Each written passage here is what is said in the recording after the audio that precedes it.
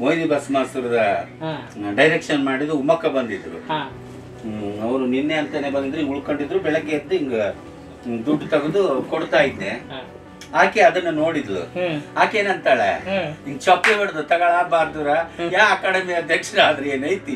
ಯಾ ಪದ್ಮಶ್ರೀ ಬಂದ್ರಿ ಏನೈತಿ? ನಮ್ಮ ಅಕ್ಕ ಚೀಲ ಕಿತ್ತದ್ ಬಿಡಂಗಿಲ್ಲ ಅಂತ. ನಾನು ಅದಕ್ಕೆ ಹೇಳಿದೆ ಇದು ಜಾನಪದ. ನಾನು ಜಾನಪದ ಕಲಾವಿದೆ. ಈ ಚೀಲ ಸಂಸ್ಕೃತಿ, ಅವಾಗೆಲ್ಲ ಯಾವ ಪರ್ಸ್ ಇದ್ದಿಲ್ಲ. ಈ ಚೀಲದಾಗ ಕಟ್ಕೊಂತಿದ್ರು ಈಗ ಬಾಳೆಕಾಯಿ ಸುತ್ತಿ ಬಾಳೆಕಾಯಿ ಇಟ್ಕೊಂತಿದ್ರು. ಅದಾದ್ಮೇಲೆ ಈ ಚೀಲ ಬಂತು ಅಂತ ಹೇಳಿದೆ.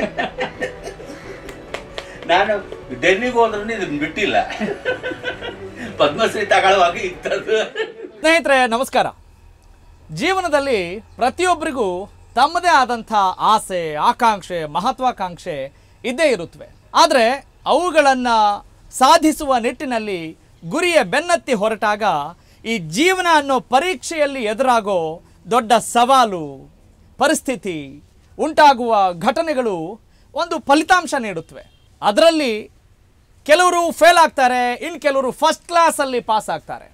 ಹಾಗೆ ಜೀವನದಲ್ಲಿ ಪಾಸಾದಂಥ ಅಪ್ರತಿಮ ಸಾಧಕರ ಜೀವನ ಪಾಠದಲ್ಲಿ ಬರೋ ಬದುಕು, ಬವಣೆ, ವಿಷಯ, ವಿಶ್ಲೇಷಣೆ, ತಮ್ಮ ಅನುಭವ, ಅನ್ವೇಷಣೆ ಕುರಿತಾದ ಮಾತುಕತೆ.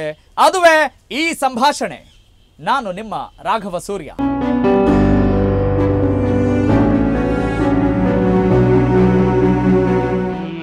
ಸಂಭಾಷಣೆ ಈ ಸಂಭಾಷಣೆಗೆ ಸ್ವಾಗತ. ಎಲ್ಲ ಸವಲತ್ತುಗಳು ಇದ್ರೂ ಕೂಡ ಸೌಲಭ್ಯಗಳು ಇದ್ರೂ ಕೂಡ ಎಷ್ಟೋ ಜನ ನಮಗೇನು ಸಾಧಿಸ್ಲಿಕ್ಕೆ ಆಗ್ಲಿಲ್ವಲ್ಲ ಅನ್ನುವ ಕೊರಗುಗಳ ನಡುವೆ ಕಷ್ಟಗಳ ಸರಮಾಲೆ, ಸಂಕಟ, ವಿಧಿಯಾಟ ಎಲ್ಲವನ್ನ ಎದುರಿಸಿ ತಾನು ಜೀವನದಲ್ಲಿ ಏನ್ ಬೇಕಾದರೂ ಸಾಧಿಸಬಲ್ಲೆ ಅಂತ ನಮ್ಮೆಲ್ಲರಿಗೂ ಮಾದರಿ ಆಗಿರುವಂಥ ಜಾನಪದ ಅಕಾಡೆಮಿಯ ಅಧ್ಯಕ್ಷೆ, ಪದ್ಮಶ್ರೀ ಪುರಸ್ಕೃತೆ ಮಾತಾ ಜೋಗತಿ ಮಂಜಮ್ಮ ಅವ್ರ ಬಗ್ಗೆ ನಾವು ಮಾತನಾಡ್ತಾ ಇದ್ದೀವಿ. ಅವರ ಬಗ್ಗೆ ಒಂದು ವಿಟಿ ಇಲ್ಲಿದೆ. ತದನಂತರ ಅವ್ರ ಜೊತೆ ಮಾತನಾಡೋಣ.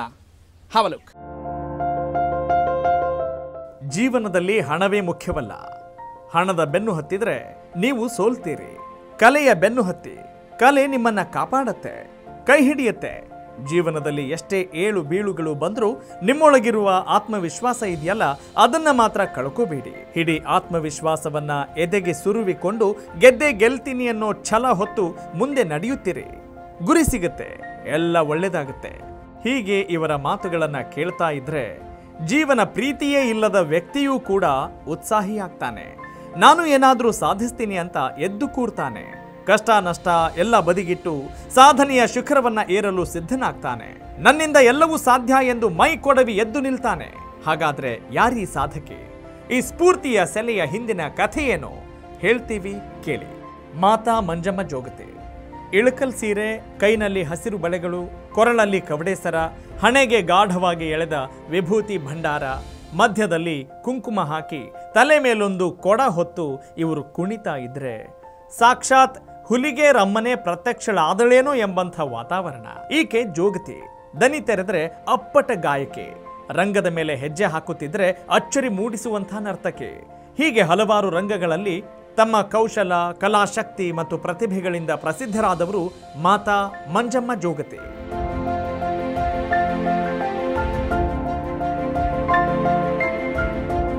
ಇಂಥ ಸಾಧಕಿ ತನ್ನ ಸಾಧನೆಯ ಹಾದಿಯಲ್ಲಿ ದಾಟಿ ಬಂದ ಕಲ್ಲು ಮುಳ್ಳುಗಳೆಷ್ಟೋ. ಆ ಸಾಹಸಗಾಥೆಯನ್ನ ಅವರ ಆತ್ಮೀಯರೇ ಹಂಚಿಕೊಂಡಿದ್ದಾರೆ. ಕೇಳೋಣ ಬನ್ನಿ. ನಾವು ಮಂಜಮ್ಮರ ಜೊತೆಗಿರೋ ಕಚ್ಚಿಗೆ ಮೂವತ್ತು ವರ್ಷ. ಅವತ್ತಿಂದ ಇವತ್ತಿನವರೆಗೆ ಜೊತೆಗೆ ಇದೀವಿ. ಒಂದೇ ಗುರು ಚೀಲಗಳು ನಾವು ಒಂದು ಮಕ್ಕಳು. ಎಂಥವ್ರು ಬಂದರೂ ಕೂಡ ಅವ್ರನ್ನ ತುಂಬ ಪ್ರೀತಿಯಿಂದ ಮಮತೆಯಿಂದ ನಮ್ಮನ್ನು ಕಾಣ್ತಾರೆ. ಅವರೆಲ್ಲ ವಿಚಾರಗಳನ್ನ ಅವ್ರು ಎಷ್ಟು ಸಂಕಟ ಪಟ್ಟಿದ್ದಾರೆ ಅವ್ರು ಎಷ್ಟು ನೋವು ಪಟ್ಟಿದ್ದಾರೆ ಅನ್ನೋದನ್ನು ತುಂಬ ಹತ್ತಿರ ಪಟ್ಟಿದ್ದೀವಿ. ಅಮ್ಮ ನನಗೆ ಯಾವಾಗಲೂ ಅಮ್ಮನೇ ಸರ್. ಹಂಗಾಗಿ ನನ್ನ ಮೇಲೆ ಪ್ರೀತಿ ಜಾಸ್ತಿ ಅವರು. ನನ್ನಂತಲ್ಲ ನಮ್ಮರನ್ನೆಲ್ಲರನ್ನೂ ಪ್ರೀತಿ ಜಾಸ್ತಿ. ಇಂಥ ಪ್ರಶಸ್ತಿಗಳು ಬಂದಿರೋದ್ರಿಂದ ಮರಮಳಿ ನಾಡಿನಾದ್ಯಂತ ದೇಶದ ಭೂಪಟದಲ್ಲಿ ಗುರುತಿಸಿಕೊಂಡಿದೆ ಅಂತ ಹೇಳಲಿಕ್ಕೆ ನಾವು ಹೆಮ್ಮೆ ಪಡ್ತೀವಿ. ಎಲ್ಲ ನಾಟಕಗಳಲ್ಲೂ ಅವ್ರಿಗೆ ಪಾತ್ರಗಳು ಸಿಗ್ತಾ ಇದ್ವು. ನಾನು ಮತ್ತು ಮಂಜಮ್ಮ ಇಬ್ಬರ ಅಕ್ಕ ತಂಗಿಯರಂತೆ ಇಲ್ಲೆಲ್ಲ ಸಾಂಸ್ಕೃತಿಕ ಕಾರ್ಯಕ್ರಮಗಳಲ್ಲಿ ಭಾಗವಹಿಸ್ತಾ ಇದ್ದೀವಿ. ತೃತೀಯ ಲಿಂಗಿಗಳ ಆತ್ಮವಿಶ್ವಾಸದ ಕಣಜವಾಗಿ ಎಲ್ಲರಂತೆಯೇ ನಾವು ಯಾರಿಂದಲೂ ಬಹಿಷ್ಕೃತರಲ್ಲ ಎಂಬ ಹೋರಾಟದ ಧ್ವನಿಯಾಗಿ ಅಂತಃಶಕ್ತಿಯ ಉದ್ದೀಪನಕ್ಕೆ ನೈಜ ಆಧಾರ ಸ್ತಂಭವಾಗಿ ಬದುಕುತ್ತಿರುವ ಮಂಜಮ್ಮ ಜೋಗತಿಯನ್ನ ಅರಸಿಕೊಂಡು ಬರದ ಪ್ರಶಸ್ತಿಗಳಿಲ್ಲ. ಇವರು ಅಲಂಕರಿಸಿದ ಕರ್ನಾಟಕ ಜಾನಪದ ಅಕಾಡೆಮಿಯ ಅಧ್ಯಕ್ಷ ಸ್ಥಾನ ಮಂಜಮ್ಮನವರ ಜಾನಪದ ಜ್ಞಾನ ರಶ್ಮಿಯ ಒಂದು ಪ್ರಭೆಯಷ್ಟೇ. ಕರ್ನಾಟಕ ಜಾನಪದ ಅಕಾಡೆಮಿ ಪ್ರಶಸ್ತಿ, ಜಾನಪದ ಶ್ರೀ ಪ್ರಶಸ್ತಿ, ಕರ್ನಾಟಕ ರಾಜ್ಯೋತ್ಸವ ಪ್ರಶಸ್ತಿ, ಪದ್ಮಶ್ರೀ ಪ್ರಶಸ್ತಿಗಳನ್ನ ಸೇರಿ ಹಲವು ಸಮ್ಮಾನಗಳನ್ನ, ಪ್ರಶಸ್ತಿ ಪುರಸ್ಕಾರಗಳನ್ನ ಮುಡಿಗೇರಿಸಿಕೊಂಡಿರುವ ಇವರು ಜನಪದ ಲೋಕದ ನೈಜ ದಂತಕಥೆ.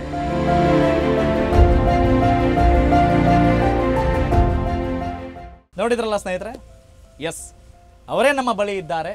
ಅವರನ್ನ ಹುಡುಕಿಕೊಂಡು ನಾವು ಬೆಂಗಳೂರಿನಿಂದ ಮರಿಯಮ್ಮನ ಹಳ್ಳಿಗೆ ಬಂದಿದ್ದೀವಿ. ಅಂದ್ರೆ ಬಳ್ಳಾರಿ ಜಿಲ್ಲೆ ಮುಂಚೆ, ಈಗ ವಿಜಯನಗರ ಜಿಲ್ಲೆ. ಹೀಗಾಗಿ ಆ ಕೀರ್ತಿ ಕೂಡ ಎರಡೂ ಜಿಲ್ಲೆಗಳಿಗೆ ಸಲ್ಲತ್ತೆ. ಅತಿ ದೊಡ್ಡ ಪ್ರಶಸ್ತಿಯನ್ನ ಪಡೆದಂಥ ಹೆಮ್ಮೆ ಅವ್ರಿಗಿದೆಯಾ? ಯಾಕಂತ ಹೇಳಿದ್ರೆ ಈಗಾಗಲೇ ಸಾಕಷ್ಟು ಪ್ರಶಸ್ತಿಗಳನ್ನು ಬಾಚಿಕೊಂಡಿದ್ದಾರೆ. ಆದರೆ ಅವರ ನೋವೇನು ನಲುವೇನು ಮಾತಾಡೋಣ. ಮಂಜಮ್ಮ ನಮಸ್ಕಾರ. ರಾಘು ನಮಸ್ಕಾರ. ಅಭಿನಂದನೆಗಳು ತಮಗೆ. ಧನ್ಯವಾದಗಳು. ಮೊಟ್ಟ ಮೊದಲನೇದಾಗಿ ಟಿ ವಿ ವಿಕ್ರಮ್ ವೀಕ್ಷಕರಿಗೆ ಕನ್ನಡ ನಾಡಿನ ಜನತೆಗೆ ಈ ಜಾನಪದ ಕಲಾವಿದೆಯ ಮಂಜಮ್ಮ ಜೋಗತಿಯ ಅನಂತ ಅನಂತ ಕೋಟಿ ಕೋಟಿ ಪ್ರಣಾಮಗಳು. ಮಂಜಮ್ಮ ಹೇಗಿದ್ದೀರಿ? ನೋಡ್ತಾ ಇದ್ದೀರಲ್ಲ? ಆರಾಮಿದ್ದೀನಿ. ನೋಡ್ತಾ ಇದ್ದೀರಲ್ಲ ಆರಾಮಿದ್ದೀನಿ ಅನ್ನೋದ್ರಲ್ಲಿ ಒಂದೇ ಅರ್ಥ ಇಲ್ಲ. ಬಹಳಷ್ಟು ನೋವು ನಲಿವು ಎಲ್ಲ ಇದಾವೆ ಅಂತ ಅನ್ನಿಸ್ತಾ ಇದ್ದಾವೆ ಬಹಳ ಖುಷಿಯಾಗಿದ್ದೀರಿ ಅಂತ ಅನ್ನಿಸ್ತಾ ಇದೆ. ಆದರೂ ನಿಮ್ಮ ನೋವು ನಲಿವನ್ನು ನೋಡಿದಾಗ ನಿಮ್ಮ ಜೀವನ ಚರಿತ್ರೆಯನ್ನು ತಿಳಿದಾಗ ಬಹಳ ಆಶ್ಚರ್ಯ ಆಗುತ್ತೆ. ಹೇಗೆ ವ್ಯಾಖ್ಯಾನಿಸ್ತೀರಿ ಈ ಜೋಗತಿ ಮಂಜಮ್ಮನನ್ನ ತಾವು? ಈಗ ಪದ್ಮಶ್ರೀ ಬಂದಿರೋದ್ರಿಂದ ಇಡೀ ದೇಶ ವಿದೇಶಗಳಲ್ಲಿ ಮಂಜಮ್ಮ ಜೋಗತಿ ಯಾರು ಅಂತ ಎಲ್ರಿಗೂ ಗೊತ್ತಾಗ್ತಾ ಇದೆ. ಮಂಜಮ್ಮ ಜೋಗತಿ ಯಾವ ರೀತಿ ವಾಸವಾಗಿದ್ದಾಳೆ? ಎಲ್ಲಿ ವಾಸವಾಗಿದ್ದಾಳೆ? ಯಾವ ರೀತಿ ಬದುಕು ಅವ್ರದ್ದು? ಅಂತ ಯಾರು ಇದುವರೆಗೂ ಯಾರು ಗುರುತಿಸಿಲ್ಲ ನನಗೆ ನನ್ನ ಕಲೆಗೆ ಸಾಕಷ್ಟು ಅದು ಮಂಜಮ್ಮನಿಗೆ ಕೊಟ್ಟಂಥದ್ದಲ್ಲ ಅದು. ನನ್ನ ಕಲೆಗೆ ಸಂದಂಥ ಗೌರವ. ಇಡೀ ನನ್ನ ತ ಜೋಗ್ತಿ ಸಂಪ್ರದಾಯಕ್ಕೆ, ಇಡೀ ನನ್ನ ಜಾನಪದ ಕಲಾವಿದರಿಗೆ, ಇಡೀ ನಮ್ಮ ಕನ್ನಡ ನಾಡಿನ ಜನರಿಗೆ, ರಾಜ್ಯ, ಹೊರ ರಾಜ್ಯ ಹಾಗೂ ಹೊರ ದೇಶದಲ್ಲಿರ್ತಕ್ಕಂಥ ಕನ್ನಡಿಗರಿಗೆ ಹೆಮ್ಮೆ ತರುವಂಥ ಪದ್ಮಶ್ರೀ ಪ್ರಶಸ್ತಿ ಇದು. ಹಂಗಾಗಿ ತುಂಬ ಸಂತೋಷವಾಗಿದ್ದೀವಿ. ರಾಷ್ಟ್ರಪತಿಯವರಿಗೆ ದೃಷ್ಟಿ ತೆಗಿತೀರಿ. ಹೆಂಗಿತ್ತ ಅನುಭವ? ಅದು ಅನುಭವ ನಾನು ಈ ಎರಡನೇ ಬಾರಿ ವಿಮಾನದಲ್ಲಿ ಪಯಣ ಮಾಡಿದ್ದು. ಮೊದಲು ಹೈದರಾಬಾದಿಂದ ಒಂದು ವಿಧಾನಸೌಧದಲ್ಲಿ ನಮಗೆ ಮಿನಿಸ್ಟ್ರು ಸಭೆ ಕರೆದಿದ್ರು. ನಾನಲ್ಲಿ ಕಾರ್ಯಕ್ರಮದ ನಿಮಿತ್ತ ಅಕಾಡೆಮಿಯ ಕೆಲಸದ ನಿಮಿತ್ತ ಅಲ್ಲಿ ಹೋಗಿದ್ದೆ ಬೆಳಗ್ಗೆ ಹತ್ತು ಗಂಟೆಗೆ ಇರೋದ್ರಿಂದ ನಾವು ಬೇಗ ಹೊರಟು ಬಂದ್ವಿ. ಅಲ್ಲಿಂದ ವಿಮಾನಕ್ಕೆ ಬಂದೆ. ಹತ್ತುವಾಗ ಒಂದು ಸ್ವಲ್ಪ ಭಯ ಆಗಿತ್ತು. ಆಮೇಲೆ ನಮ್ಮ ಅಕಾಡೆಮಿ ಸಿಬ್ಬಂದಿ ಎಲ್ಲ ಇದ್ದರು ಅವ್ರ ಜೊತೆ ಬಂದೆ. ಮೊನ್ನೆ ವಿಮಾನದಲ್ಲಿ ಹೋದೆ. ವಿಮಾನದಲ್ಲಿ ಹೋದ್ಮೇಲೆ ಇಳಿಯೋ ಸಮಯದಲ್ಲಿ ಗಗನ ಸಖಿಯರಿಗೆಲ್ಲ ಹಿಂಗೆ ಪದ್ಮಶ್ರೀ ಬಂದಿದೆ ಅಂದ ತಕ್ಷಣ ಗಗನ ಸಖಿಯರು ಮತ್ತು ಫೈಲೈಟ್ಗಳು ಎಲ್ಲ ನಮ್ಮ ಜೊತೆ ಫೋಟೋ ತೆಗೆಸ್ಕೊಂಡ್ರು. ಫೈಲೈಟ್ ಫೋಟೋ ತೆಗೆಸ್ಕೊಂಡು ಮೀಡಿಯಾದಲ್ಲಿ ಎಲ್ಲ ಹಾಕ್ಕೋಬೇಡ್ರಿ? ನಿಮಗೆ ನೋಡೋದಕ್ಕೆ ಇಟ್ಕೊಳ್ರಿ ಅಂದ್ರೆ. ಅದು ಬೇರೆ ಅರ್ಥನೇ ಕೊಡುತ್ತೆ. ಸಕೀರ ಜೊತೆ ಇರೋ ಫೋಟೋ ನೀವಾದ್ರೂ ಹಂಚ್ಕೊಳ್ಳಿ. ನಮ್ಮ ಫೈಲೈಟ್ಗಳ್ದು ಹಾಕ್ಕೋಬೇಡ್ರಿ ಅಂತ ಹೇಳಿದ್ರು. ಆಯ್ತು ರೀ ಅಂತ ಹೇಳಿದೆ. ಅದನ್ನು ಎಲ್ಲೂ ಹಾಕ್ಕೊಳ್ಳಿಲ್ಲ. ಅಲ್ಲಿಂದ ಹೋದ್ವಿ ನಾವು. ಹೋದ್ವಿ, ಅಶೋಕ ಹೋಟೆಲಲ್ಲಿ ಕೊಟ್ಟರು ಅಷ್ಟು ದೊಡ್ಡ ಹೋಟೆಲ್ ನಾವೆಂದೂ ನೋಡಿಲ್ಲ. ಏಳುವರೆ ಸಾವಿರ ರೂಪಾಯಿ ಅದು ಬಾಡಿಗೆ ಒಂದು ರೂಮಿಗೆ ನೂರ ತೊಂಬತ್ತು ರೂಪಾಯಿ ಒಂದು ಕಾಫಿ. ಆಮೇಲೆ ಫಾ ಏರ್ಪೋರ್ಟಲ್ಲಿ ಹೊಟ್ಟೆ ಸಿಗ್ತಾ ಇತ್ತು. ಇಡ್ಲಿ ತಿನ್ನೋಣ ಅಂತ ಇಡ್ಲಿ ತಿಂತಿದ್ವಿ. ಮೂರು ಇಡ್ಲಿಗೆ ಇನ್ನೂರ ಹದಿನೆಂಟು ರೂಪಾಯಿ. ನಾನು ಹಿಂದೆ ನನ್ನ ಜೀವನದಲ್ಲಿ ಒಂದು ರೂಪಾಯಿಗೆ ನಾಲ್ಕು ಇಡ್ಲಿ ಮಾರಿದ್ದೆ. ಅವೆಲ್ಲ ನೆನಪಿಗೆ ಬಂದು. ಒಂದು ರೂಪಾಯಿಗೆ ನಾಲ್ಕು ಇಡ್ಲಿಯಲ್ಲಿ ಇನ್ನೂರ ಹದಿನೆಂಟು ರೂಪಾಯಿಗೆ ಮೂರು ಇಡ್ಲಿಯಲ್ಲಿ. ಏನೋ ಒಂಥರ ಸಂತೋಷ ಆ, ದುಃಖ ಹಿಂದಿನದು ನೆನೆಸ್ಕೊಂಡು ದುಃಖ. ಅವತ್ತು ಒಂದು ರೂಪಾಯಿ ನಾಲ್ಕು ಇಡ್ಲಿ ಮಾರಿದವಳು ಇವತ್ತು ಇನ್ನೂರ ಹದಿನೆಂಟು ರೂಪಾಯಿ ಕೊಟ್ಟು ಮೂರು ಇಡ್ಲಿ ತಿಂತಾ ಇದ್ದೀನಿ ನಾನು ಅನ್ನೋದು ಒಂಥರ ವ್ಯಥೆ ಅನ್ನಿಸ್ತಾ ಇತ್ತು. ಅಲ್ಲಿಂದ ನಮ್ಮನ್ನ ರಾಷ್ಟ್ರಪತಿ ಭವನಕ್ಕೆ ಕರ್ಕೊಂಡೋದ್ರು ಎರಡು ಗಂಟೆಗೆಲ್ಲ. ಅಲ್ಲಿ ತರಬೇತಿಯನ್ನ ಮಾಡಿಸಿದ್ರು.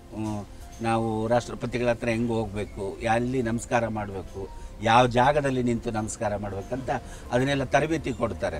ರಾಷ್ಟ್ರಪತಿಗಳು ಇರತಕ್ಕಂಥ ಜಾಗದಲ್ಲಿ ಬೇರೆ ಒಬ್ಬ ವ್ಯಕ್ತಿ ಕುಂತಿರ್ತಾರೆ. ಅವ್ರಿಗೆ ಹೋಗಿ ನಾವು ನಮಸ್ತೆ ಅಂತೀವಿ. ಅವ್ರು ಬಂದು ನಮಗೆ ಈ ಮೆಡ್ಲನ್ನು ಹಾಕಿ, ಈ ಇದೊಂದು ಸರ್ಟಿಫಿಕೇಟನ್ನು ಕೈಲಿ ಕೊಡ್ತಾ ಇರ್ತಾರೆ. ಆಮೇಲೆ ಇಸ್ಕೊಂಡು ಮತ್ತೆ ಯಾವ ಕಡೆಯಿಂದ ಬಂದು ಕುಂದಿರ್ಬೇಕಂತ ತರಬೇತಿ ಕೊಟ್ಟರು ಅದನ್ನು ಮಾಡಿದ್ವಿ. ಮತ್ತು ಆಮೇಲೆ ನನ್ನ ಸರ್ತಿ ಇಪ್ಪತ್ತೊಂದನೇ ಸಂಖ್ಯೆ ನಂದು. ಅದು ಬಂದಾಗ ನಾನು ಯಥಾ ರೀತಿ ಹೋದೆ. ನನ್ನ ಜನ ನಾನು ಎದ್ದ ತಕ್ಷಣ ಎಲ್ಲರೂ ಜೋರಾಗಿ ಚಪ್ಪಾಳೆ ಹೊಡೆದ್ಬಿಟ್ರು. ನನ್ನ ಮಂಡಿ ನೋವು ಬೇರೆ ನಡೆ ಕಷ್ಟ. ಆದರೂ ಅದು ಹೆಂಗ್ ದಡ ದಡ ದಡ ದಡ ಹೋದ್ನೆ ಆ ವೇದಿಕೆಗೆ ನಮಸ್ಕಾರ ಮಾಡಿ ಎಡಗೈಯಿಂದ ದೃಷ್ಟಿ ತೆಗಿಬೇಕನ್ಸ್ತು ತೆಗಿತಾ ಇರುವಾಗನೇ ಒಂದನೇ ಸರಿ ತೆಗೆದಾಗ ಎರಡನೇ ಸರಿ ತೆಗಿಬೇಕಾ ನೋಡ್ಬಿಟ್ರು ಅವ್ರು ನನ್ನ ದೃಷ್ಟಿ ತೆಗಿಯೋದು. ಅವರು ಅಲ್ಲಿ ಪದಕ ತಗೊಳ್ಳೋದಕ್ಕೆ ಕೈ ಹಾಕಿದ್ರು. ನಾವು ಒಂದನೇ ಸರಿ ಹಿಂಗೆ ಅಂದಾಗ ಎರಡನೇ ಸರಿ ಅನ್ನೋದ್ರಾಗ ಅವ್ರ ಕೈಗೆ ಪದಕ ಬಂದಿತ್ತು.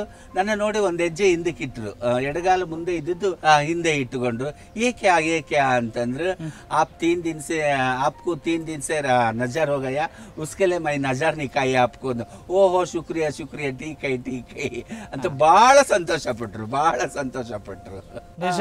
ಅಂದ್ರೆ ನೀವು ಎಲ್ರಿಗೂ ದೃಷ್ಟಿ ತೆಗಿತೀರಿ ನಿಮ್ಮನ್ನ ನೋಡಿದ್ರೆ ಎಲ್ರಿಗೂ ಒಳ್ಳೇದಾಗತ್ತೆ ಅನ್ನೋ ಭಾವನೆ ಇದೆ. ಆದ್ರೆ ನಿಮ್ಗೆ ಎಷ್ಟು ಒಳ್ಳೇದಾಗಿದೆ ಅಂತ ಅನಿಸ್ತು ನಿಮ್ಮ ಜೀವನದಲ್ಲಿ? ನಾನು ಯಾವತ್ತು ನನಗೆ ಅದು ಬೇಕು ಇದು ಬೇಕು ಅಂತ ಬಯಸ್ತವಳಲ್ಲ ಬದುಕು ನನಗೆ ಎಷ್ಟು ಬೇಕಷ್ಟು ನೀಟಾಗಿ ಸಾಕು. ಅದಿಷ್ಟಿದ್ರೆ ನಾಲ್ಕು ಜನ ಬಂದರೆ, ಹೋದ್ರೆ, ಕುಂದ್ರೋದಕ್ಕೆ, ನಿಂದ್ರೋದಕ್ಕೆ, ಅವರಿಗೆ ಒಂದೊತ್ತು ಊಟ ಕೊಡೋದಕ್ಕೆ ಅಷ್ಟಿದ್ರೆ ಸಾಕು. ನನಗೇನು ಹೆಂಡರ ಮಕ್ಕಳಿಲ್ಲ ಗಂಡರ ಮಕ್ಕಳಿಲ್ಲ ಐಶ್ವರ್ಯ ಗಳಿಸ್ಬೇಕು, ಮಕ್ಳಿಗೆ ಮಾಡಬೇಕು, ಮೊಮ್ಮಕ್ಳಿಗೆ ಮಾಡಬೇಕು ಅನ್ನೋ ಭಾವನೆ ಏನಿಲ್ಲ. ನಾನು ಯಾವತ್ತೂ ನನಗಾಗಿ ನಾನು ಏನು ಕೇಳ್ಕೊಂಡಿಲ್ಲ. ಇನ್ನು ಮುಂದಾದರೂ ನನಗಾಗಿ ನಾನು ಏನು ಕೇಳ್ಕೊಳಲ್ಲ. ನನ್ನ ಹೆಸರಿಗಾದರೂ ಏನಾದರೂ ಇರಲಿ, ನಾನು ಬೆಳೆದಂಥ ಊರಲ್ಲಿ ಇರೋದು ಒಂದು ನನ್ನ ಆಸೆ. ಸ್ನೇಹಿತರೆ, ಒಂದು ವಿಚಾರವನ್ನು ಗಮನಿಸಬೇಕು. ನನಗೇನು ಹೆಂಡ್ರ, ಮಕ್ಕಳ ಅನ್ನೋ ಮಾತನ್ನು ಅವ್ರು ಹೇಳ್ತಾ ಇದ್ರು. ಆದರೆ ಇದೇ ಗುಡಿಸಲಲ್ಲಿ ಅವರು ಸಾಕಷ್ಟು ಜನರಿಗೆ ಆಶ್ರಯವನ್ನು ಕೊಡ್ತಾ ಇದ್ದಾರೆ. ಅದು ಅವರ ಹೆಮ್ಮೆ. ಈಗಲೂ ಕೂಡ ಅವ್ರು ಯಾವುದೋ ಒಂದು ಸವಲತ್ತನ್ನು ಬಯಸ್ತಾರೆ ಅಂತ ಹೇಳಿದ್ರೆ ಅದು ತಮಗೋಸ್ಕರ ಅಲ್ಲ ಅದು ಪರೋಪಕಾರಕ್ಕೆ ಅನ್ನುವ ಅವರ ಒಂದು ಹೃದಯ ವೈಶಾಲ್ಯತೆಯನ್ನು ನಾವು ಈ ಸಂದರ್ಭದಲ್ಲಿ ಮೆಚ್ಚಲೇಬೇಕು. ಬಹಳ ಸಂತೋಷ ಆಗುತ್ತೆ ನಿಮ್ಮ ಈ ಸಾಧನೆಯನ್ನು ಗಮನಿಸಿದಾಗ. ಯಾವತ್ತಾದರೂ ಪದ್ಮಶ್ರೀ ಅನ್ನುವ ದೊಡ್ಡ ಪ್ರಶಸ್ತಿಯನ್ನು ನಾನು ಮುಡಿಗೇರಿಸ್ಕೊಳ್ತೀನಿ ಅಂತ ಅನ್ಸಿತ್ತಾ? ಅದು ಯಾವತ್ತಾದರೂ ಕನಸ್ಕೊಂಡಿಲ್ಲ ಅದು ಕನಸು ಮನಸ್ಸಲ್ಲೂ ಇಲ್ಲ ನನಗೆ ಅದು ಕನಸು ಮನಸ್ಸಲ್ಲ ಅದು ಯಾಕೆ ಅದನ್ನ ನಾನು ಕಲ್ಪನೆ ಮಾಡ್ಕೊಂಡಿಲ್ಲ ಅಂದ್ರೆ ನನಗೆ ಪದ್ಮಶ್ರೀ ಪ್ರಶಸ್ತಿ ಒಂದು ಐತಿ ಅನ್ನೋದೇ ಗೊತ್ತಿಲ್ಲ ನನಗೆ. ನನ್ನ ಸಾಲು ಮರದ ತಿಮ್ಮಕ್ಕನಿಗೆ ಕೊಟ್ಟಾಗ ಪದ್ಮಶ್ರೀ ಪ್ರಶಸ್ತಿ ಐ ಕೊಡ್ತಾರೆ ಅನ್ನೋದು ಗೊತ್ತಾಗಿದ್ದು ನನಗೆ ಗೊತ್ತಿದ್ದು ರಾಜ್ಕುಮಾರ್ ಕೊಟ್ಟಿದ್ದು ಪದ್ಮಭೂಷಣ ಪ್ರಶಸ್ತಿ ವಿಭೀಷಣ ಪ್ರಶಸ್ತಿ ಇದೆ ಅಂತ ಕುವೆಂಪು ಅವರಿಗೆ ಅವರಿಗೆ ಅವರಿಗೆ ಕೊಟ್ಟರು ಜ್ಞಾನಪೀಠ ಪ್ರಶಸ್ತಿ.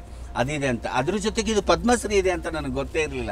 ಕಾಲಮರದ ಮರದ ತಿಮ್ಮಕ್ಕನಿಗೆ ಕೊಟ್ಟಾಗ ಗೊತ್ತಾಯಿತು. ಆಜಬ್ಬ ಅವರಿಗೆ ಕೊಟ್ಟಾಗ ಇಪ್ಪತ್ತನೇ ಸಾಲಿಂದು. ಆಜಬ್ಬ ಅವರಿಗೆ ಅನೌನ್ಸ್ ಆದಾಗ ಗೊತ್ತಾಯಿತು. ಇಂಥ ಪದ್ಮಶ್ರೀ ಅನ್ನೋ ಪ್ರಶಸ್ತಿ ಇದೆ. ಆಮೇಲೆ ಅದೆಷ್ಟು ಜನಕ್ಕೆ ಕೊಡ್ತಾರೆ ಅಂತ ಗೊತ್ತಿಲ್ಲ. ಅದು ಕೊಡ್ತಾರೆ ಅನ್ನೋದು ಅಷ್ಟು ಗೊತ್ತು. ಅದು ಬಿಟ್ಟರೆ ಮತ್ತೆ ಇನ್ನೇನು ಗೊತ್ತಿಲ್ಲ ನನಗೆ. ಅವತ್ತು ನಾನು ತಗೊಂಡು ಬಂದೆ. ಆ ಪದ್ಮಶ್ರೀಗೆ ಅಷ್ಟು ಬೆಲೆ ಇದೆ ಅಂತ ನನಗೆ ಗೊತ್ತಿಲ್ಲ. ಅದ್ರ ಬೆಲೆ ಏನಂತಾನೂ ಗೊತ್ತಿದ್ದಿಲ್ಲ ನನಗೆ. ಈ ನನಗೆ ಅನೌನ್ಸ್ ಆದಮೇಲೆ ಕರ್ನಾಟಕದ ಎಲ್ಲ ಜಿಲ್ಲೆ ಜನ ಕರೆದು ನನಗೆ ಅಭಿನಂದಿಸಿದ್ರು. ಎಲ್ಲ ಮೀಡಿಯಾದವರು ನನ್ನನ್ನು ಸಂದರ್ಶನ ಮಾಡಿದರು. ಅದಕ್ಕಿಂತ ಮುಖ್ಯವಾಗಿ ನನ್ನ ಒಡನಾಟದಲ್ಲಿರ್ತಕ್ಕಂಥ ಎಲ್ಲ ಜಿಲ್ಲೆಯ ಮನೆಮನೆಯ ಪತ್ರಕರ್ತರು ನನ್ನ ಬಗ್ಗೆ ಹೈಲೈಟ್ ಆಗಿ ತುಂಬ ಪ್ರಚಾರ ಸಿಕ್ತು. ಪ್ರಚಾರ ಸಿಕ್ತು. ಮೊನ್ನೆ ನಾನು ಅಕ್ಕ, ಇದು ಪದ್ಮಶ್ರೀ ತಗೊಂಡು ಏರ್ಪೋರ್ಟಿಗೆ ಬಂದಾಗ ನಾನು ವಿಮಾನವನ್ನ ಏರ್ ಇಂಡಿಯಾಕ್ಕೆ ಬಂದಿದ್ದು ನಾನು. ಫ್ಲೈಟ್ ಟೇಕ್ ಆಗೋ ಸಮಯದಲ್ಲಿ ಅವ್ರು ಅನೌನ್ಸೇ ಮಾಡ್ಬಿಟ್ರು. ನನಗೆ ಗಾಬರಿ ಆಗ್ಬಿಡ್ತು. ಅನೌನ್ಸ್ ಮಾಡಿದ್ರೆ ಹಿಂದಿಯಲ್ಲಿ ಹಿಂಗೆ ಮಂಜಮ್ಮ ಜೋಗ್ತಿ ಪದ್ಮಶ್ರೀ ತಗೊಂಡಿರೋರು ನಮ್ಮ ಫ್ಲೈಟಲ್ಲಿ ಇದ್ದಾರೆ ಅವ್ರಿಗೆಲ್ಲರಿಗೂ ಶುಭ, ಅವರಿಗೆ ಶುಭಾಶಯ. ಹೇಳೋಣ ಅಂದ ತಕ್ಷಣ ಎಲ್ಲರೂ ಜೋರಾಗಿ ಕ್ಲಾಪ್ಸ್ ಹಾಕ್ಬಿಟ್ರು ಆಮೇಲೆ ನನ್ನನ್ನು ಅಲ್ಲಿ ಫ್ರಂಟ್ ಸೈಡಿಗೆ ಕರೆದು ನನ್ನ ಬಗ್ಗೆ ಒಂದೆರಡು ಮಾತಾಡಿಸಿ ಗಗನ ಸಖಿಯರು ಒಂದು ರವಂಡನ್ನು ಹಾಕ್ಸಿದ್ರು. ಅದರೊಳಗಡೆ ಒಂದು ಹಾಕ್ಸಿ. ಎಲ್ಲರೂ ಇದು ಮಾಡಿದರು ಎದ್ದು ನಿಂತು. ನನಗೆ ಕೈಕಾಲು ಶೇಕ್ ಆಗಕ್ಕೆ ನಿಂತ್ಬಿಟ್ಟು, ಇದಕ್ಕೂ ಅಷ್ಟು ದೊಡ್ಡ ಬೆಲೆನ ಪದ್ಮಶ್ರೀ ಪ್ರಶಸ್ತಿಗೆ. ಒಂದು ವಿಮಾನದಲ್ಲಿ ನಾವು ಆಕಾಶದಲ್ಲಿ ಹಾರಾಡೋದನ್ನು ನೋಡಿದ್ವಿ. ಅದರೊಳಗೆ ನಿಂತ್ಕೊಂಡು ನನ್ನ ಬಗ್ಗೆ ವರ್ಣನೆ ಮಾಡ್ತಾರಲ್ಲ, ಇದಕ್ಕೆ ಎಷ್ಟು ಗೌರವ ಇದೆ ಅಂತ.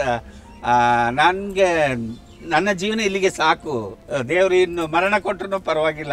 ಆ, ಧಾರಾಳವಾಗಿ ಸ್ವೀಕಾರ ಮಾಡ್ತೀನಿ ಅನ್ನೋ ಒಂದು ಮನಸ್ಥಿತಿಗೆ ಬಂದ್ಬಿಟ್ಟಿದ್ದೆ ನಾನು. ಮಂಜುನಾಥ ಜೋಗತಿ ಮಂಜಮ್ಮ ಆಗಿರೋ ಕಥೆನ ನಾವು ಕೇಳಿದಾಗ ನಿಮ್ಮ ಆ ನೋವನ್ನು ಅಥವಾ ಜೀವನವೇ ಬೇಡ ಅನ್ನೋ ಆತ್ಮಹತ್ಯೆ ಮಾಡ್ಕೊಳ್ಳೋಕೆ ಹೊರಟಾಗ ಆದಂಥ ಆ ದುಃಖ, ಅದೆಲ್ಲವನ್ನ ಮೀರಿ ನೀವು ಸಾಧನೆ ಮಾಡ್ಲಿಕ್ಕೆ ಸಾಧ್ಯವಾಗುತ್ತಲ್ಲ? ಹೆಂಗಿದು? ಏನು ಕಾರಣ? ನಮ್ಮ ಸ್ವಂತ ಊರು ಬಳ್ಳಾರಿ ಜಿಲ್ಲೆ, ಬಳ್ಳಾರಿ ತಾಲೂಕು ಕಲ್ಕಂಬ ಗ್ರಾಮ.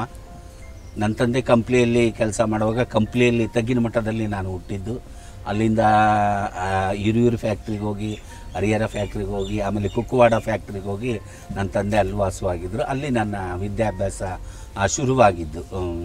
ಒಂದನೇ ತರಗತಿಯಿಂದ ಏಳನೇ ತರಗತಿ ತನಕನೂ ಚೆನ್ನಾಗಿದ್ದೆ. ಏಳನೇ ತರಗತಿಯಿಂದ ನನ್ನ ದೇಹದಲ್ಲಿ ಬದಲಾವಣೆ, ಅದು ಹೆಣ್ಮಕ್ಳ ಥರ ಇರಬೇಕು, ಹೆಣ್ಮಕ್ಳ ಥರ ಕೆಲಸ ಮಾಡಬೇಕು, ಹೆಣ್ಮಕ್ಳ ಥರ ಓಡಾಡಬೇಕು, ಇವೆಲ್ಲ ನನ್ನ ತಲೆಯಲ್ಲಿ ಬರ್ತಾ ಇದ್ವು. ಅದು ಜನಗಳಿಗೆ ಅಸಹ್ಯ ಅನ್ನಿಸ್ತಿತ್ತು ಮನೆಗಳವ್ರಿಗೂ ತೊಂದರೆ ಗಸಿಬಿಸಿ ಆಗ್ತಾ ಇತ್ತು.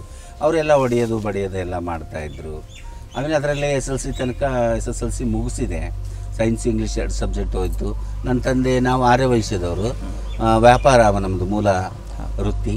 ನಮ್ಮ ಜನಾಂಗಕ್ಕೆ ಇಷ್ಟು ವಿದ್ಯಾಭ್ಯಾಸ ಸಾಕು ಅಂತ ನಮ್ಮಪ್ಪ ನಮ್ಮನ್ನು ಶಾಲೆ ಬಿಡಿಸಿ ನನ್ನ ಸ್ವಂತ ಊರಿಗೆ ಕರ್ಕೊಂಡು ಹೋದರು ಸ್ವಂತ ಊರಿಗೆ ಕರ್ಕೊಂಡು ಹೋದ್ಮೇಲೆ ಅಲ್ಲಿ ಹೋಟ್ಲ್ ಇತ್ತು ಒಂದು ಸಣ್ಣ ಸೈಕಲ್ ಶಾಪ್ ಮಾಡ್ಕೊಂಡಿದ್ವಿ ಚಿಕ್ಕದ ಅಂಗಡಿ ಇತ್ತು.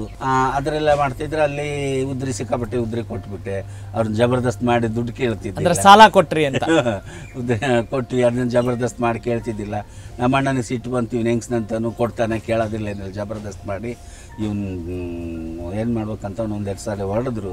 ಅದಾದ ನಂತರ ಮತ್ತೆ ನನ್ನ ನಂದಿ ಫೈನಾನ್ಸ್ ಅಂತ ಕುರುಗೋಡಲ್ಲಿ ಫೈನಾನ್ಸ್ ಕಂಪ್ನಿ ಇದೆ. ಅಲ್ಲಿಗೆ ನನ್ನನ್ನು ಪಿಗ್ಮಿ ಕಲೆಕ್ಷನ್ ಮಾಡಕ್ಕೆ ಕಳಿಸಿದ್ರು. ಒಂದು ವರ್ಷ ಪಿಗ್ಮಿ ಕಲೆಕ್ಷನನ್ನು ಮಾಡಿದೆ. ಅಲ್ಲಿ ಕಲ್ಲಕಂಬ ಲಕ್ಷ್ಮೀಪುರ, ಬಾದನಟ್ಟಿ ಅದು ನಾಲ್ಕು ಊರು ಅಡ್ಡಾಡ್ಕೊಂಡು ಪಿಗ್ಮಿ ಕಲೆಕ್ಟ್ ಮಾಡ್ಕೊಂಡು ಬ್ಯಾಂಕಿಗೆ ದುಡ್ಡು ಕಟ್ಟಿ ನಾನು ಮನೆಗೆ ಬರ್ತಾಯಿದ್ದೆ ಮನೆಗೆ ಬಂದರೆ ಅದೇ ರೀತಿ ಭಂಡಾರ ಕುಂಕುಮ ಹಚ್ಕೊಳ್ಳೋದು ಟವಲ್ ತಗೊಂಡು ಸೆರಗಿನ ಥರ ಹಾಕ್ಕೊಳ್ಳೋದು ಅಲ್ಲಿ ನಮ್ಮ ಮಂತ್ಯಾಣದವರೆಲ್ಲ ತುಂಬ ಜನ ಇದ್ದರು ನಮ್ಮ ಸ್ವಲ್ಪ ನೋವು ಅನಿಸ್ತಾ ಇತ್ತು. ಅವ್ರು ನಮ್ಮವರೆಲ್ಲ ಅವನೇನು ಹಂಗೆ ಮಾಡ್ತಾನೆ ಮುಂಜೆ ಹೆಂಗ್ಸರು ಮಾಡ್ದಂಗೆ ಮಾಡ್ತಾನೆ? ಹುಲಿಗೆಮ್ಮ ಮೈ ಮೇಲೆ ಬಂದಿದ್ದಾಳೆ ಅಂತ ಹೇಳಿಕೆ ಎಲ್ಲ ಹೇಳ್ತಾನೆ. ಅದು ನಮ್ಮ ಜನಾಂಗದಲ್ಲಿ ಇರೋದಿಲ್ಲ, ಅದು ಕೆಳವರ್ಗದವ್ರಿಗೆ ಅಷ್ಟೇ ಇರೋದು. ಅವನ್ನ ಹೊಡೆಯ ಹೊಡೆಯಕ್ಕೆ ಬರೋಂಗಿಲ್ಲ, ಏನು ಬಡಿಯಕ್ಕೆ ಬರಲ್ಲ ಏನಂತ ನಮ್ಮ ಅಣ್ಣನಿಗೆ ಅವರೆಲ್ಲ ಬೈದಾಗ ಇವ್ರು ಸಿಟ್ಟು ಬಂದು ನಾನು ಬೈಯೋದು, ಹೊಡೆಯೋದು. ಅದೆಲ್ಲ ಮಾಡ್ತಾಯಿದ್ರು ಇವ್ನು ಹಂಗಾದ್ರೆ ಸರಿ ಹೋಗಲ್ಲ ಅಂತ ಮತ್ತೆ ಕರ್ಕೊಂಡೋಗಿ ಮತ್ತೆ ನಮ್ಮ ಅಪ್ಪ ಅಮ್ಮನ ಹತ್ರ ಬಿಟ್ಟ ಕುಕ್ವಾಡಕ್ಕೆ ಅಲ್ಲಿಂದ ನಮ್ಮ ಸೋದರ ಮಾವ ಒಬ್ಬರು ಜೋಗಮ್ಮ ಆಗಿದ್ರು ಜೋಗತಿ ಆಗಿದ್ರು. ನನ್ನ ತಾಯಿಯ ತಮ್ಮ ಜೋಗತಿ ಆಗಿದ್ರು. ಅವರು ಅಂದರೆ ಡ್ಯಾನ್ಸ್ ಗೀನ್ಸ್ ಎಲ್ಲ ಏನು ಮಾಡ್ತಿದ್ದಿಲ್ಲ. ಶ್ರುತಿಯನ್ನು ಹಾಕ್ಕೊಂಡು ಭಿಕ್ಷಾಟನೆ ಮಾಡ್ಕೊಂಬಂದು ಒಂದು ಕಡೆ ಉಳ್ಕೊಳ್ತಿದ್ರು. ಅವರು ಬಂದು ಏ ಇವನು ನಾನು ಜೋಗತಿಯಾಗಿ ಅನುಭವಿಸಿರೋದೇ ಸಾಕು. ಮತ್ತೆ ಇವನೊಬ್ಬನು ಸೀರೆ ಉಟ್ಕೊಂಡು ಇವನೇನು ಮಾಡ್ತಾನೆ? ಇವನು ಬೇಡ ಅಂತಂದು ಕಂಪ್ಲಿ ಕರ್ಕೊಂಡೋಗಿ ಅವರೊಂದು ಸ್ವಲ್ಪ ದಿನ ಇಟ್ಕೊಂಡು ಹೊಡೆದು ಹೊಡೆದು ಹಿಂಸೆ ಕೊಟ್ಟು ಬಿಡಿಸ್ಬೇಕಂತ ಅವ್ರ ಕೈಲಾಗ್ಲಿಲ್ಲ ಮತ್ತೆ ಕರ್ಕೊಂಡು ಹೋಗಿ ನನ್ನನ್ನು ಅಲ್ಲಿ ಬಿಟ್ಟರು ಅಲ್ಲಿ ಬಿಟ್ಟ ಮೇಲೆ ಆಸ್ಪತ್ರೆಗೆ ಕರ್ಕೊಂಡು ಹೋದ್ರು ನಮ್ಮಪ್ಪ. ಅಲ್ಲಿ ಸರಿ ಹೋಗಲಿಲ್ಲ. ಮುಖ್ಯಮಂತ್ರಿ ಸ್ವಾಮಿ ಹತ್ರ ಕರ್ಕೊಂಡು ಹೋದ್ರು. ಅಲ್ಲಿ ಹೋದ್ರು ಏನೂ ಆಗಲಿಲ್ಲ.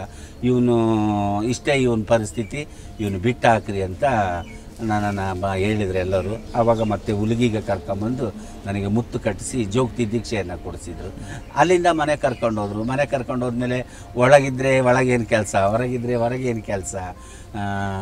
ಹೆಣ್ಮಕ್ಳ ಜೊತೆ ಮಾತಾಡಿದರೆ ಹೆಣ್ಮಕ್ಳ ಹತ್ರ ಏನು ಕೆಲಸ?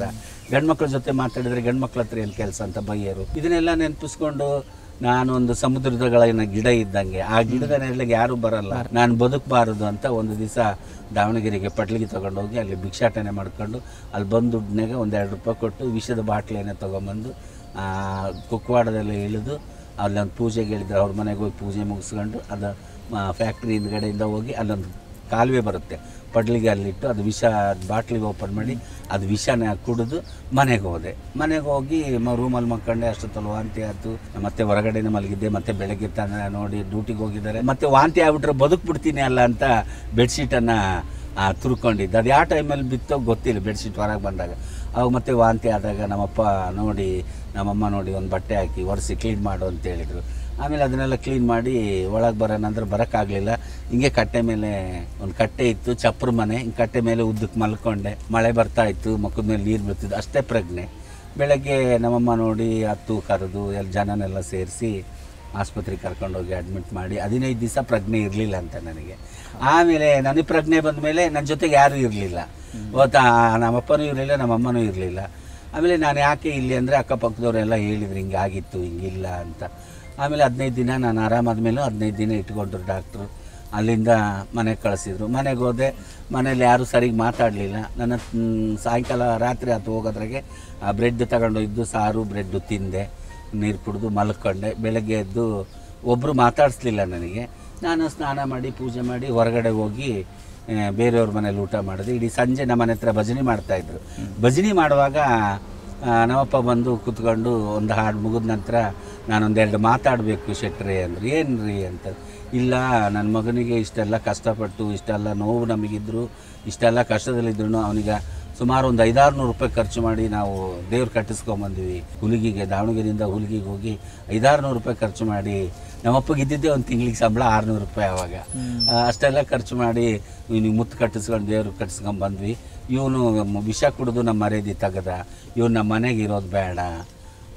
ಮನೆಗೆ ಇರಬೇಡ ಅಂದರೆ ಎಲ್ಲಿಗೆ ಹೋಗ್ಬೇಕ್ರಿ ಅವನು ಅಂದೆ ಜನ ಕೇಳಿದಾಗ ಅವಾಗ ಅವರು ನಮ್ಮಪ್ಪ ಹೇಳ್ತಾರೆ ಗಂಡ ಆಗಿದ್ದರೆ ಅವನಿಗೆ ಮದುವೆ ಮಾಡ್ತಿದ್ದಿ. ಅವನು ಹೆಂಡತಿ ಕಟ್ಕೊಂಡು ಬೇರೆ ಇರ್ತಿದ್ದ. ಹೆಣ್ಣಾಗಿದ್ದರೆ ಮದುವೆ ಮಾಡಿ ಗಂಡನ ಮನೆಗೆ ಕಳಿಸ್ತಿದ್ವಿ.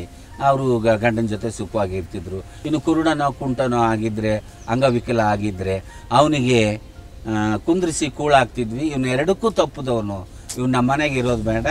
ಇವನು ಅವ್ರ ಸಮುದಾಯ ಹೆಂಗೆ ಬದುಕುತ್ತೋ ಹಂಗೆ ಎಲ್ಲನ ಹೋಗಿ ಬದುಕಲಿ ಅಂತ ಹೇಳಿದರು ಅವರು. ಅವಾಗ ಅವರೆಲ್ಲ ಕೇಳಿದ್ರು ನನಗೆ, ಮಂಜು, ಏನಂತೀಯಪ್ಪ? ಅವರೆಲ್ಲ ಮಂಜು ಅಂತಲೇ ಕರಿತಾ ಇದ್ರ, ಓಣಿಯಲ್ಲೆಲ್ಲ. ಮಂಜು, ಏನಂತೀ ಮಂಜು? ಅಂದರು, ನೀವು ಹೆಂಗೆ ಅಂತೀರಿ ಹಂಗೆ? ನಿಮ್ಮಪ್ಪ ಮನೆ ಬಿಟ್ಟು ಹೋಗ್ತಾನಂತ ಹೋಗ್ತೀಯ? ಅನ್ನೋ ಹೋಗ್ತೀನಿ. ಅಂತಂದೆ.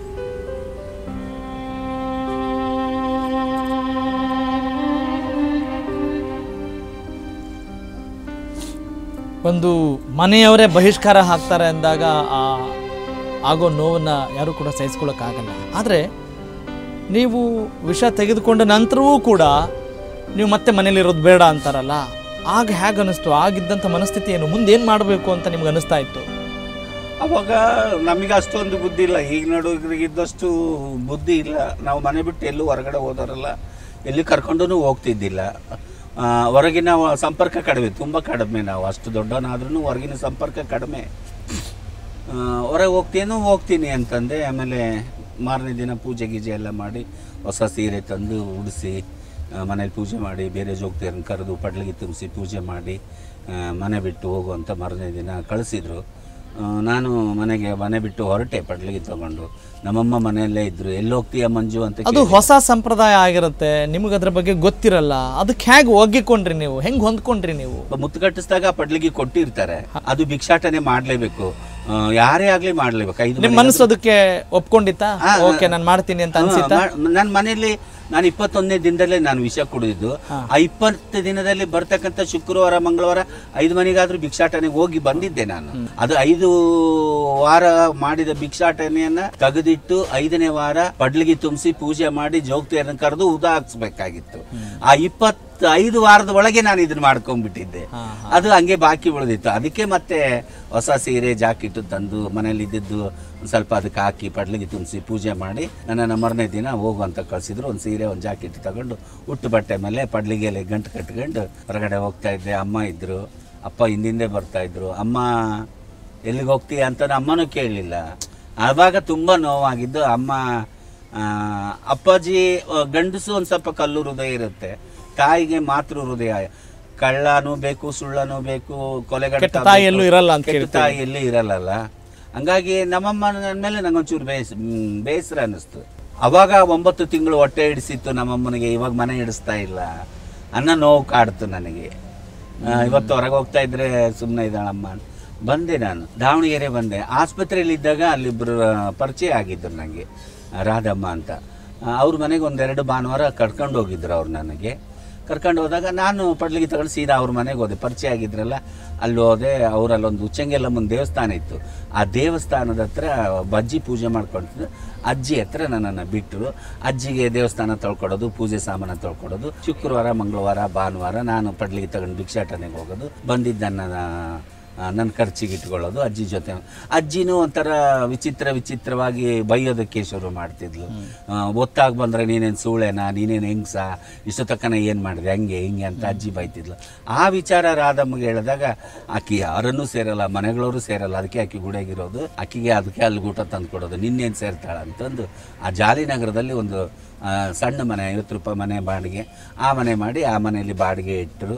ನಾನು ಬೇಡ ಅಂತಂದೆ ಇಲ್ಲ ಇರು ಅಂತ ಅವರೇ ನನಗೊಂದೆರಡು ಹಳೆ ಸೀರೆ ಹಳೆ ಪಾತ್ರೆಗಳು ಹಳೆ ಸ್ಟವ್ ಆ ಚಾಪೆ ಅದನ್ನೆಲ್ಲ ಕೊಟ್ಟು ರೂಮ್ ಮಾಡಿ ನನ್ನನ್ನು ಅಲ್ಲಿಟ್ಟರು ಅಲ್ಲಿಂದ ನಾನು ಶುಕ್ರವಾರ ಮಂಗಳವಾರ ಅಮಾಸಿ ಉಣಿವಿ ಕುಕ್ಕುವಾಡಕ್ಕೆ ಭಿಕ್ಷಾಟನೆಗೆ ಹೋಗ್ತಿದ್ದೆ. ಅಂದರೆ ಜೋಗತಿ ವೃತ್ತಿಯಲ್ಲಿ ನೀವು ಆ ರೀತಿ ತೊಡಗಿಸ್ಕೊಂಡ್ರೆ. ಆದರೆ ಇದರಲ್ಲಿ ನಂಗೆ ಬಹಳ ಆಶ್ಚರ್ಯ ಅಂತ ಅನಿಸೋದೇನು ಅಂದರೆ ಸಾಮಾನ್ಯವಾಗಿ ನಾವು ಮನೆಯಲ್ಲಿ ಇದ್ದಾಗ ನಾವು ಎಷ್ಟನೇ ಮಕ್ಕಳು ಅಂತ ನಮಗೆ ಗೊತ್ತಿರುತ್ತೆ.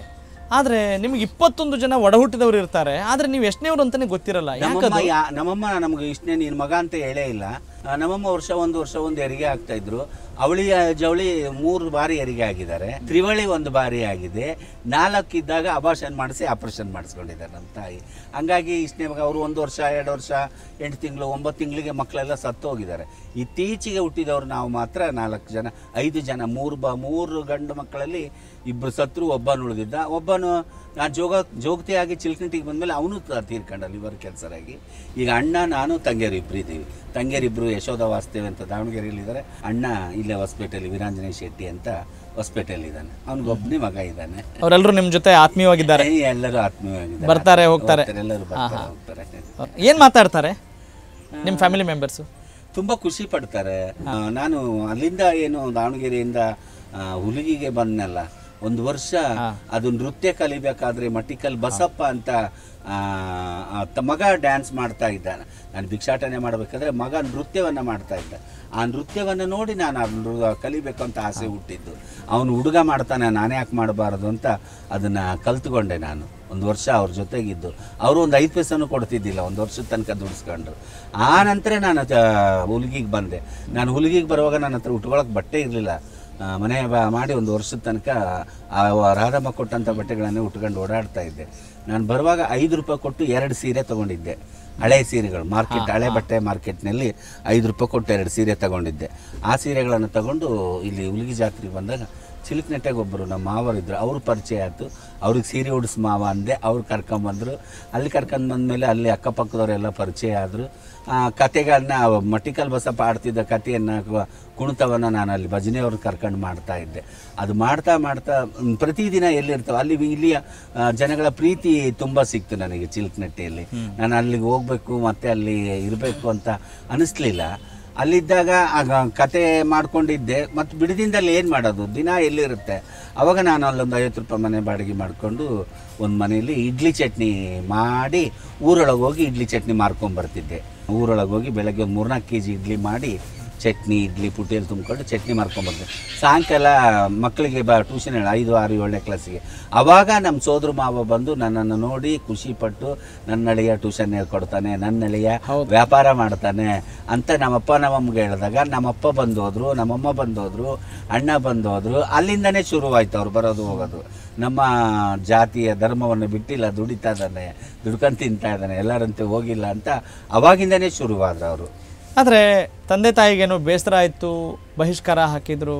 ಆದರೆ ನಿಮ್ಮ ಜೊತೆಗಿದ್ದಂಥ ಒಡಹುಟ್ಟದವರು ಯಾರೂ ಯಾರು ನಿಮ್ಮನ್ನು ತಡೆಯೋ ಪ್ರಯತ್ನ ಮಾಡಲಿಲ್ವಾ? ನಿಮ್ಮ ಜೊತೆ ಪ್ರೀತಿಯಿಂದ ನಡ್ಕೊಳ್ಳೋ ಪ್ರಯತ್ನ ಮಾಡಲಿಲ್ವಾ ಆ ತಂಗಿಯರು ಸಣ್ಣವರು ತಮ್ಮ ಚಿಕ್ಕವನು ಅಣ್ಣ ಊರಲ್ಲಿದ್ದ ಕಲ್ಕಂಬ್ರಲ್ಲಿದ್ದ.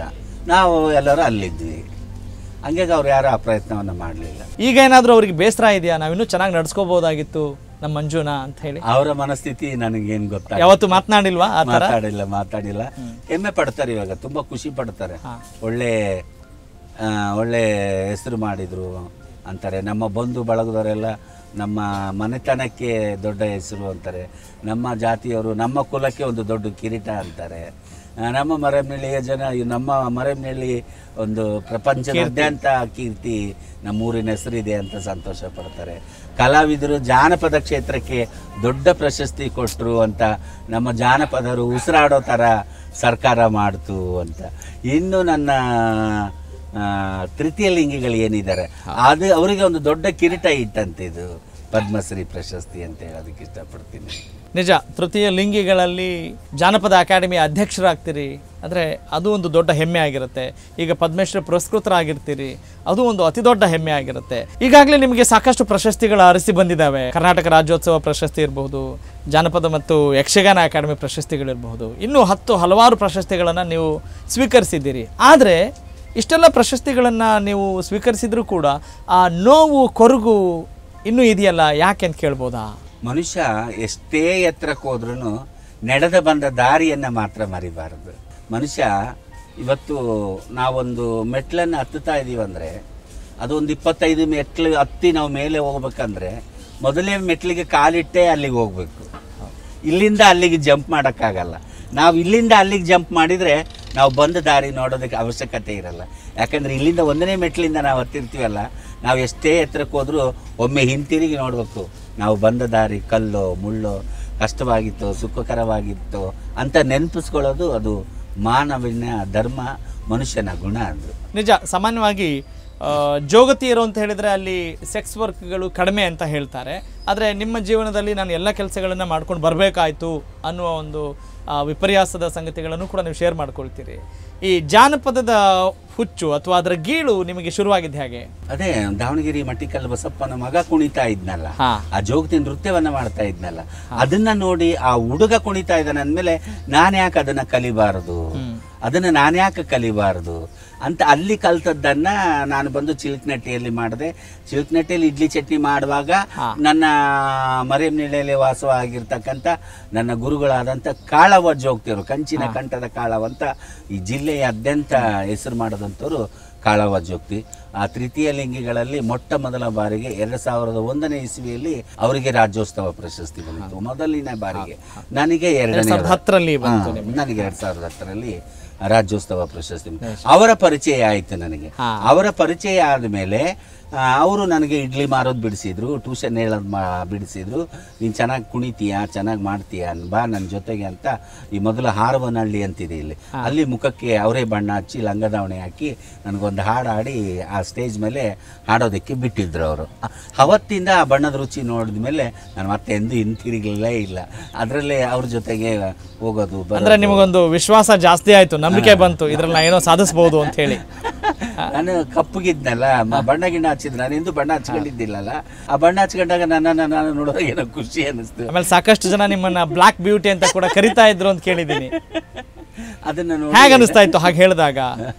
ಖುಷಿ ಅನಿಸ್ತಾ ಇತ್ತು ಖುಷಿ ಅನಿಸ್ತಾ ಇತ್ತು ನಾವು ರಾತ್ರಿ ಎಲ್ಲ ಎಲ್ಲ ಮನ ನಾಟಕವನ್ನ ಆಡಿ ಬರ್ತಾ ಇರ್ಬೇಕಾದ್ರೆ ಜೋಗಮ್ಮರು ಬಂದರು ನಾಟಕ ಆಡೋರು ಬಂದರು. ಆಕಿ ಚಂದ ಕುಣಿತಾಳಲ್ಲ ಆಕಿ ಬಂದ್ಲು ಅಂತ ಹೇಳಿದ್ರು. ಅವಾಗೆಲ್ಲ ಖುಷಿ ಅನಿಸ್ತಾ ಇತ್ತು. ನಿಜ ಅಂದ್ರೆ ಅಷ್ಟೆಲ್ಲದರ ನಡುವೆ ಒಂದು ಪ್ರೇಮ ಪ್ರಸಂಗ ಕೂಡ ನಡೆದಿತ್ತು ಅಂತ ನಾನು ಕೇಳಲ್ಪಟ್ಟೆ. ಏನಾದ್ರೂ ಹೇಳ್ಬೋದಾ? ಅಭ್ಯಂತರ ಇಲ್ಲದೆ ಹೋದ್ರೆ? ಪುಸ್ತಕದಲ್ಲಿ ಹೇಳ್ಕೊಂಡಿದ್ದೀನಲ್ಲ. ಟಿವಿ ವಿಕ್ರಮ ದೇಶ ನಿಮ್ಮ ಕೈಯಲ್ಲಿ.